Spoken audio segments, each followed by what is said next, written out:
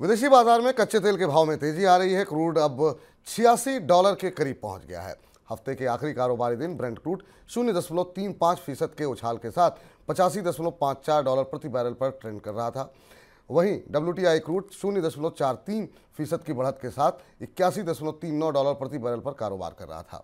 Crude के दामों का असर भारत में पेट्रोल, डीजल के दामों पर नहीं पड़ा है। हालाँकि लोकसभा चुनाव की तारीखों का ऐलान से ठीक पहले केंद्र सरकार ने पिछले हफ़्ते पेट्रोल, डीजल के दामों में दो रुपये प्रति लीटर की कटौती की थी।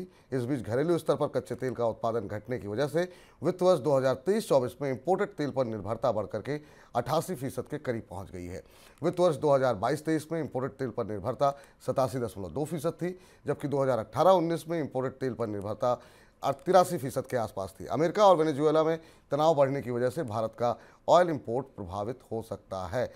आ, सर बातें तो हो रही थी घरेलू उत्पादन बढ़ाने की तो फिर ये इम्पोर्ट बढ़ने के कारण क्या है? हाँ ये बिल्कुल उल्टी तस्वीर है। हम लोग एक इकोनॉमिका में विस्तार से इस पर चर्चा कर चुके हैं कि भारत की तेल आत्मनिर्भरता आखिर उल्टी दिशा में क्यों चल पड़ी? 2014-15 में ये लक्ष्य रखा गया था कि 2022 तक भारत की जो तेल निर्भरता है आयात निर्भरता है उसे घटाकर अस्सी फ़ीसदी से नीचे लाया जाएगा। लेकिन यहाँ जो आज आंकड़ा दिख रहा है वो सत्तासी फ़ीसदी से ऊपर निकल गया। इसकी सबसे बड़ी वजह है कि भारत के जो घरेलू तेल उत्पादक हैं उन्होंने लगातार निराश किया है। पिछले दस दस एक साल में अगर आप ओ के तेल उत्पादन के आंकड़े देखें या भारत की जो प्रमुख तेल कंपनियाँ हैं, जिनसे जो तेल की खोज करती हैं, उनके उत्पादन में लगातार गिरावट आई है। जो स्थिति तेल की है, वैसी ही स्थिति लगभग नेचुरल गैस की भी है। और इसलिए भारत में इकोनॉमिक ग्रोथ को फ्यूल करने के लिए जितने कच्चे तेल की ज़रूरत थी, वो लगातार बढ़ती चली गई है और भारत के आयात पर निर्भरता बढ़ रही है। इस मामले में निवेश की कोशिशें सफल नहीं हुई हैं। सरकार न्यू लाइसेंसेज एक्सप्लोरेशन पॉलिसी भी लेकर आती है, पर उसमें भी निजी निवेश नहीं आया है। और ये बड़ी चिंता की बात है कि भारत का, की निर्भरता अंतर्राष्ट्रीय कच्चे तेल के बाज़ार पर पर दिख रही है, बढ़ रही है, जो काफ़ी वोलेटाइल है, जो काफ़ी उतार चढ़ाव रहा आज जैसे आज आप देखें कि कच्चे तेल की कीमतें छियासी डॉलर पहुँच गई क्योंकि अमेरिका और वेनेजुएला के बीच में तनाव बढ़ रहा है और बाज़ार में वेनेजुएला का तेल आने की संभावना कम हो गई है।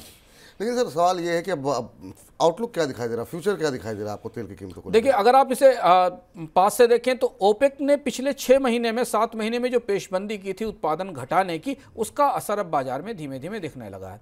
दूसरी महत्वपूर्ण बात है कि रूस पर रूस का जो तेल लीक होकर बाज़ार में आ रहा था डार्क फ्लीट के ज़रिए प्रतिबंधों को दाएँ बाएँ करके भेजा जा रहा था उस पर अंतर्राष्ट्रीय स्तर पर सख्ती हुई है। नेटो ने भी अमेरिका ने भी यूरोपियन यूनियन ने उस पर सख्ती की है। तो उस तेल का प्रभाव प्रभावी बाज़ार में अब कम होता दिखाई दे रहा है। और इस बीच वेनेजुएला और ईरान दो बड़े और देश थे, खासतौर से वेनेजुएला का तेल आने वाला था, उसकी भी आपूर्ति कम होती दिख रही है। तो पूरी तरह से डिमांड सप्लाई की जो मैट्रिक्स हमको आज से दो महीने पहले तक दिख रहा था कि कच्चे तेल की कीमत seventy eight, seventy nine dollar पर बैरल से ऊपर नहीं जाएगी, अब वो छियासी डॉलर के आसपास ऊपर ट्रेंड कर रही और ये बेहद दिलचस्प और असंगत सी लगने वाली बात है कि जब खाड़ी में युद्ध की परिस्थिति बनी हुई थी, जिस समय इसराइल और हमास के बीच युद्ध अपने चरम पर था और स्वेज के आसपास हमले हो रहे थे, तब कच्चे तेल की कीमतों में हमें कोई बड़ी तेज़ी नहीं दिखाई दी। लेकिन अब जब धीमे धीमे चीज़ें थोड़ी सी शांत होती दिख रही हैं, तब बाज़ार अपनी गति से फिर वापस बढ़कर छियासी से नब्बे डॉलर की तरफ़ बढ़ रहा है। और ये भारत के लिए बड़ी चुनौती है कि भारत चुनाव की तरफ़ जाते समय अभी पेट्रोल डीजल की कीमतों में कटौती करके आया है। और कंपनियों ने जो अपने मार्जिन रिकवर किए थे, अगर ये कीमतें नब्बे डॉलर के पास पहुँची तो उनको अगले ही महीने से घाटा होना शुरू हो जाएगा।